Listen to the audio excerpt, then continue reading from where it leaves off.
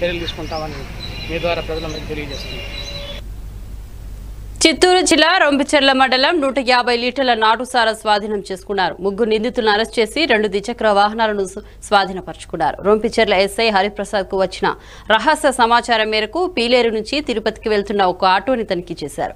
అందులో నూట యాభై లీటర్ల నాటు స్వారాన్ని స్వాధీనం చేసుకున్నారు. దీంతో పాటు రెండు ద్విచక్ర వాహనాలు ముగ్గురు నిందితులను అరెస్ట్ చేశారు. వీరిపై కేసు నమోదు చేసి రిమాండ్ తరలించారు.